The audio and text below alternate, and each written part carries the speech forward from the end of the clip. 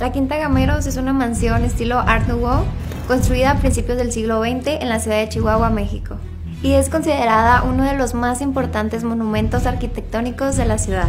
Esta finca la mandó a construir el rico minero don Manuel Gameros para regalársela a su prometida Elisa Müller.